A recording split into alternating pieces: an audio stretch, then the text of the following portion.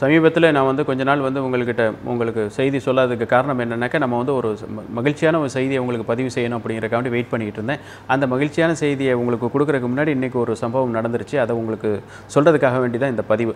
இன்றைக்கி வந்து ஒன்று நம்மளுக்கு செய்யார் பகுதியில் இருக்கிற ஒரு ஹெல்த் டிபார்ட்மெண்ட்டில் ஒர்க் பண்ணுற ஒருத்தருக்கு இன்றைக்கி வந்து பாசிட்டிவ் ஆயிருக்கு. இதுதான் வந்து நம்மளுக்கு ரொம்ப வருந்தக்கூடிய ஒரு விஷயம். எனக்கு அந்த மூன்றாம் நிலையில் எந்த விதமான தொற்றும் இருக்காதா அப் இருக்கக்கூடாது அப்படின்ற உழைப்பை இன்னைக்கெல்லாம் நம்ம அதோடைய பலன் கிடைக்கும் அப்படின்னு நினச்சிட்டு இருக்கும்போது ஒரு கேஸ் நம்ம வந்துருச்சு. பன்னெண்டு கேஸ் வந்துச்சு சார். ஏன் சார் இந்த ஒன்றை பற்றி கவலைப்படுறீங்க அப்படின்னு நீங்கள் நினச்சிங்கனாக்கா அது முற்றிலும் தப்பு. எனக்கு அந்த ஒன்று தான் ரொம்ப சீரியஸ் எனக்கு அந்த மூணாவது நிலைக்கு நம்மளுக்கு போகிறதுக்கு இது இது இதுதான் முதல் கீ இதுக்குள்ளே நுழைச்சிட்டோம் எனக்கு இப்போ இவர் இவர் இவருடைய டியூட்டி என்ன தெரியுங்களா?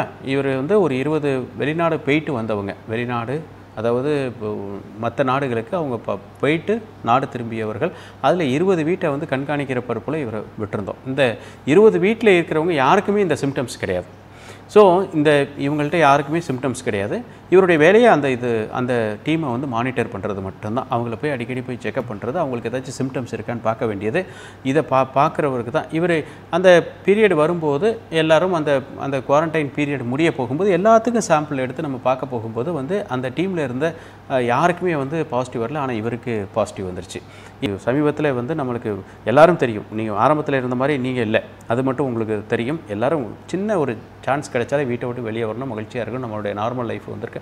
நாங்கள் இன்றைக்கி வந்து உங்களெல்லாம் வீட்டில் இருங்கன்னு சொல்கிறது உங்களை உங்களை துன்புறுத்துறதுக்காக வேண்டியும் உங்களை கஷ்டப்படுத்துறதுக்காக வேண்டியும் கிடையாது. உங்களை நிரந்தரமாக மகிழ்ச்சியாக வைக்கிறதுக்கும் இந்த நோயிலிருந்து உங்களை முழுமையாக விடுவிக்கப்பட வேண்டும் என்ற எண்ணத்துக்காக வேண்டி தான் இன்றைக்கி உங்களெல்லாம் வீட்டில் இருக்க சொல்கிறோம் ஆனால் இன்றைக்கி நம்ம இங்கே கிர இங்கே இங்கே கீழே இருக்கிறவங்களெல்லாம் வந்து நம்மளாம் இவ்வளோ கஷ்டப்பட்டுட்டு இருக்கோம். நம்ப மாட்டீங்க. நான் வந்து கடந்த வாரம் வந்து நான் ஜமனா மருத்துவர் மலைக்கு போயிருந்தேன். அங்கே இருக்கிற அந்த அந்த மலைவாழ் மக்கள் அந்த ஒவ்வொரு கிராமத்துலேயும் அவங்க முகப்பில் வந்து வேலியோ இல்லை ஏதாச்சும் ஒரு தடுப்பை போட்டு அந்த கிராமத்தில் கிராமத்துக்குள்ளே வெளியாட்கள் யாரும் உள்ளே அனுமதிக்க அனு அனுமதிக்காத ஒரு சூழ்நிலையை இன்றைக்கி அவங்க ஒவ்வொரு கிராமத்திலையும் நான் பார்த்துட்டு வந்தேன். அப்போ அவங்கெல்லாம் இவ்வளோ கட்டுப்பாடாக இருக்கும்போது ஜவன மரத்தில் ஒரு கேஸ் கூட இல்லைங்க. பாசிட்டிவும் கிடையாது. யாரும் வெளியில் போய் வந்த அந்த ட்ராவல் ஹிஸ்ட்ரிலையும் யாரும் இன்றைக்கி அப்சர்வேஷன்லேயே கிடையாதுங்க. எல்லாரும் அங்கே இருக்கிறவங்க எல்லாருமே ஒவ்வொரு கிராமத்துலையும் முழுமையாக அந்த டிசிப்ளினோடு இருக்காங்க. அந்த நிகழ்வை தான் நம்ம இங்கே எதிர்பார்க்குறோம். ஆனால் இங்கே நம்மளுக்கு அந்த ஒத்துழைப்பு கிடைக்க மாட்டேங்குது. ஸோ தயவு செய்து வந்து எல்லாரும் வந்து இலவசமாக அதை கொடுக்குறேன் இதை கொடுக்குறேன் உணவு கொடுக்குறேன் பொருட்கள் கொடுக்குறேன் துணி கொடுக்குறேன் இதெல்லாம் வந்து சொல்லுவாங்க ப்ளீஸ் டோன்ட் என்டர்டைன் வந்து அங்கே இருக்கிற ஒவ்வொரு கிராமத்துலையும் நீங்கள் தான் உங்கள் கிராமத்தையும் உங்கள் கிராமத்தில் உள்ள மக்களையும் நீங்கள் தான் பாதுகாக்கணும்.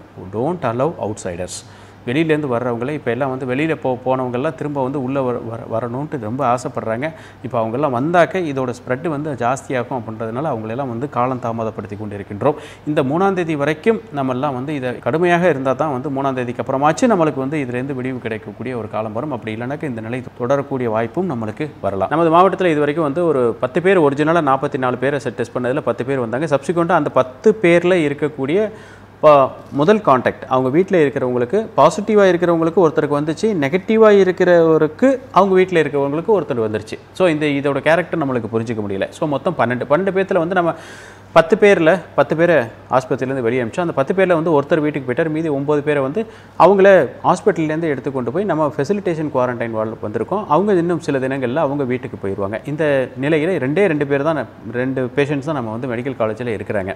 இந்த நிலையில் வந்து இப்போது இதுதான் இப்போது இவர் யாருக்கிட்டேருந்து இந்த பாசிட்டிவ் வந்தது அப்படின்றது இப்போ யாராலையும் நம்ம கண்டுபிடிக்க முடியல. எனக்கு வெளிநாடு போயிட்டு வந்தவங்கள்ட்ட ஆனால் ஃபிசிக்கலாக எந்த சிம்டம்ஸும் கிடையாதுங்க. இப்போ தான் அவங்கள்ட்ட ஸ்வாப்பு கலெக்ட் பண்ணுறோம் இப்போ யாருக்கிட்டேருந்து இவருக்கு வந்திருக்கு? இப்போ இவர் வந்து இருபதாம் தேதி வந்து ஒரு இரண்டு தினங்களுக்கு முன்பாக இந்த இந்த சாம்பிள் நம்ம கலெக்ட் பண்ணியிருக்கோம். இன்றைக்கி ரிசல்ட் வந்திருக்கு. அதற்கு முன்பாக எத்தனை நாளைக்கு முன்னாடி முன்னாடியே இவருக்கு பாசிட்டிவ் சிம்பிள் இருக்குது அப்படின்றது நம்மளுக்கு தெரியாது. அப்போது ஒரு கிட்டத்தட்ட ஒரு நான்கு ஐந்து நாட்களாக இவருடைய ட்ராவல் ஹிஸ்ட்ரி இவருடைய காண்டாக்ட் ஹிஸ்ட்ரி இதெல்லாம் பார்த்தோம் அப்படின்னாக்க நிறைய அது நீளமாக போய்கிட்டே இருக்குது இவர் வீட்டில் இருந்தது நண்பர்களோட போனது சொந்தக்காரங்களோட போனது வேலைக்கு வந்தது வேலையில் வேலை செய்யும்போது அங்கே இருக்கிறவங்களுடைய பழகுனது. இப்படி தொடர்ந்து தொடர் பெரிய ஒரு லென்த்தி லிஸ்ட்டு போயிட்டுருக்கு இப்போது இவங்களை எல்லாத்தையும் இப்போ வந்து திரும்ப வந்து அவங்கள கூப்பிட்டு இன்னொரு போ பதினாலு நாள் அவங்கள கண்காணித்து அவங்களுக்கெல்லாம் சாம்பிள் எடுத்து அந்த க சாம்பிள்லேருந்து அவங்கள்ட்ட இருக்கிற இருக்கிற மூலமாக இன்னொருத்தருக்கு ட்ரான்ஸ்ஃபர் ஆகி கண்டிப்பாக வந்திருக்கும். அப்போ அவங்கள்ட்டேருந்து இன்னொரு ட்ரான்ஸ்ஃபர் இப்படி தான் இந்த இந்த நியூக்ளியர் ஃபியூஷன் மாதிரி இப்படியே போயிட்டுருக்குங்க. இதுக்காக வேண்டி தான் நம்ம ஆரம்பத்துலேருந்து சொல்லிட்டு இருந்தோம் please avoid contact and maintain the social distance வீட்டை விட்டு வெளியே வராதீங்க. பாதுகாப்பாக இருங்க அப்படின்றத சொல்லிகிட்டு இருந்தோம் இன்றைக்கி தயவுசெய்து எல்லாரும் வீட்டில் இருக்கணும். இந்த சீரியஸ் சீரியஸ்னஸை நீங்கள் புரிஞ்சுக்கணும். ஏன்னா ஒரு ஒருத்தருக்கு பாசிட்டிவ் இருந்தவருக்கு அவர் வீட்டில் இருந்து இன்னொருத்தருக்கு வந்து திரும்ப இந்த தொற்று நோய் இருக்கிறதுல பெரிய ஆச்சரியம் கிடையாதுங்க. ஆனால் அந்த வீட்டில் வந்த பயணித்தவருக்கு நெகட்டிவ் ஆகிருக்கு ஆனால் அந்த வீட்டில் இருக்கவருக்கு பாசிட்டிவ் வந்துருச்சு. எப்படி வந்ததுன்னு தெரியல. எப்படி இது ட்ராவல் ஆகுதுன்னு தெரியல. அப்போ அவங்க அவங்களுடைய ட்ராவல் ஆகிறது அவருடைய உடல்நிலையை பொறுத்தும் பரவக்கூடிய சக்தி வந்து நிர்ணயிக்கப்படுகிறது. அதே மாதிரி பார்த்தீங்கன்னாக்கா இன்றைக்கி இவர் பணியில் இருக்கிறாரு. ஒரு சுகாதார பணியில் இருக்கிறவருக்கு அவர் ஏற்கனவே அவர் பாடியில் வந்து ரொம்ப எதிர்ப்பு சக்திகள் இருக்கக்கூடிய ஒரு நிலை. அவங்களாம் ரொம்ப பாதுகாப்பாக இருப்பாங்க. இது மாதிரி பல நோய்களை வந்து அவங்க சர்வீஸ் பூரா வந்து கிட்ட இருபது இருபத்தஞ்சி வருஷம் சர்வீஸ் போட்டவங்க அவங்களுக்கு அவங்க உடம்புலேயே வந்து பயங்கர எதிர்ப்பு சக்திகள் இருக்கும். அவங்களுக்கே இந்த நோய் வந்து பாதிக்கக்கூடியது இருக்குனாக்கா நம்மளாம் சாதாரணமாக இருக்கக்கூடியது தொடர்ந்து நீங்கள் எல்லாம் வந்து இந்த நிலையை கடைப்பிடித்தாகும் சின்ன கேப்பு கிடைச்சாலே நம்ம வந்து வெளியில் வரணும் அப்படின்னு நினச்சோம் அப்படின்னாக்க இது ரொம்ப கஷ்டமான ஒரு நிலையை இருக்கும். யாரையும் உங்கள் ஊருக்குள்ளேயோ உங்கள் வீட்டுக்குள்ளேயோ அதை தரோம் இதை தரோம் அப்படின்னாக்க தயவு அனுமதிக்காதீர்கள். இன்று முதல் வந்து மீண்டும் நீங்கள் வந்து முதல் நாள் எப்படி இருந்தீங்களோ அந்த நிலையிலிருந்து மீண்டும் இந்த மூணாம் தேதி வரைக்கும் நீங்கள் தொடர்ந்து எங்களுக்கு ஒத்துழைப்பு கொடுத்தா தான் இந்த நோயிலிருந்து உங்களை வந்து காப்பாற்ற முடியும். ஏற்கனவே நீ கிராமத்தில் இருக்கிறவங்கலாம் பார்த்துருப்பீங்க. கிட்டத்தட்ட வந்து நமது மாவட்டத்தில் ஒரு நாளைக்கு வந்து ஒரு எழுபத்தி எட்டாயிரத்திலேருந்து எண்பத்தஞ்சாயிரம் பேருக்கு ஒரு நாளைக்கு நம்ம அரசு மூலமாக சாப்பாடு போட்டு கொண்டு இருக்கின்றோம் அது அம்மா உணவகம் மூலமாகவும் அந்தந்த பகுதியில் கிராம பகுதியில் இருக்கிற அந்த மதிய உணவு திட்டத்தின் மூலமாக இருக்கக்கூடிய அந்த கிச்சனில் சமைச்சு சில பேருக்கு வந்து வீட்டிலேயே போய் முடியாதவங்களுக்கு கொடுத்துருக்கோம். சில பேர் அங்கேயே வந்து வாங்கி சாப்பிட்டுக்கிட்டு இருக்காங்க. நிறைய வயதானவர்கள் என் காது படவே நாங்கள் போகும்போது சொல்கிறாங்க ஊரடங்குக்கு முன்பு கூட நான் மூணு வேளை கூட எங்கள் வீட்டில் சாப்பிட முடியாத ஒரு சூழ்நிலை இருந்துச்சு. ஆனால் அந்த ஊரடங்கு பின்னாடி நான் வந்து மூணு வேளை சாப்பிட்றேன் அப்படின்ட்டு நிறைய முதியவர்கள் எங்களுக்கெல்லாம் சொல்லிகிட்டு இருக்காங்க. தயவுசெய்து வந்து நீங்கள் இந்த எனக்கு உணவு இல்லை. எனக்கு அது வேணும் இது வேணும் அப்படின்னு நீங்கள் வெளியே வர்ற முயற்சிக்கு நீங்கள் எந்த காரணமும் சொல்லக்கூடாது. அது வந்து இது உங்களுடைய உயிர் பிரச்சனை இங்கே இருக்கிற மக்களுடைய உயிர் பிரச்சனை. இதில் இதில் வந்து நீங்கள் சான்ஸே எடுக்கக்கூடாது. இதை நம்ம எல்லாம் ரொம்ப லைட்டாக எடுத்துக்கிறோம். இப்போ எனக்கு பொருளாதாரம் போச்சு எனக்கு வெளியில் போக முடியல வீட்டில் இருக்கிற பொருட்கள்லாம் போயிடுச்சு சாப்பிட முடியல. யார் சாப்பிடாம இருக்கா? எல்லா வசதிகளும் உங்களுக்கெல்லாம் செய்து கொண்டிருக்கின்றோம். உங்களுக்கு என்ன செலவு? இப்போ வெளியில் போக வேண்டிய செலவு என்ன? போக்குவரத்து செலவா? துணி எடுக்கிற செலவா? சினிமாவுக்கு போக வேண்டிய செலவா?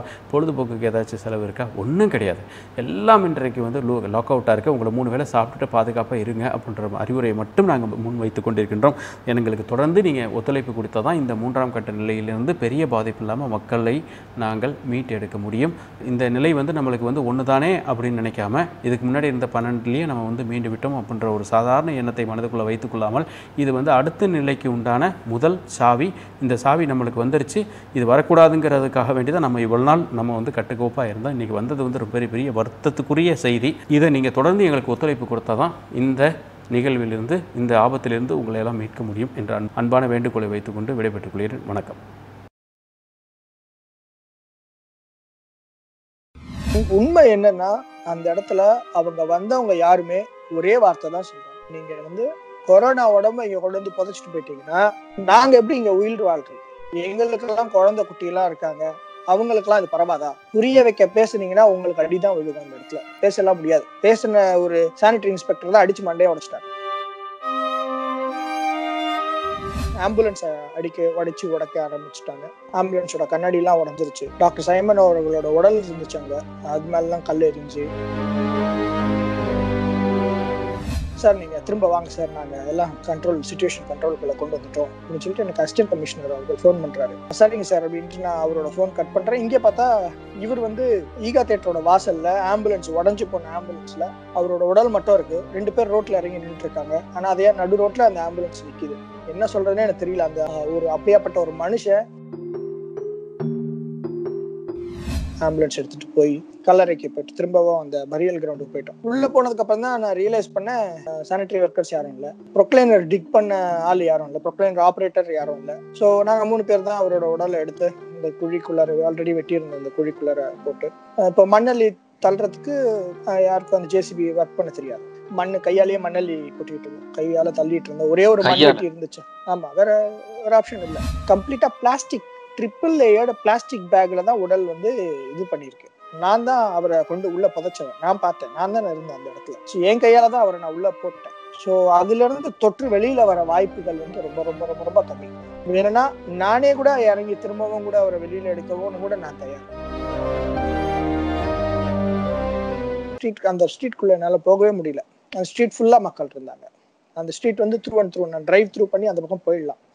அந்த மாதிரி ஒரு ஸ்ட்ரீட் அது. நான் வந்து அந்த ரோடு ஃபுல்லா மக்கள் நிறைஞ்சிருந்தாங்க போலீஸ் இருந்தாங்க மீடியா இருந்தாங்க. ஸோ ரொம்ப சுச்சுவேஷன் ஒரு வாலட்டைலாக தான் இருந்துச்சு அந்த இடத்துல. ஐ குடன்ட் உள்ள வண்டியெல்லாம் எடுத்துட்டு போக முடியல. ஸோ நான் வந்து அங்கேயே திருப்பிட்டு வந்துட்டோம். கொரோனா வைரஸை பற்றின லேட்டஸ்ட் அப்டேட்ஸ்களை உடனுக்குடன் தெரிஞ்சுக்க நியூஸ் கிளிச் சேனலுக்கு சப்ஸ்கிரைப் பண்ணுங்க. நியூஸ் கிளிச்சோட இணைஞ்சிருக்க பக்கத்தில் இருக்க பெல் ஐக்கானையும் ப்ரெஸ் பண்ணுங்க.